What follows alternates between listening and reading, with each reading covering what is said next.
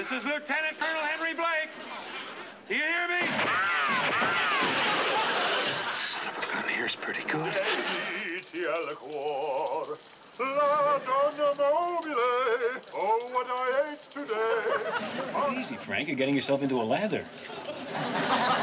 This is ridiculous. Don't get yourself in a lather, Hawk. You'll never get out. Five, four, three, two, one. Finito. My turn.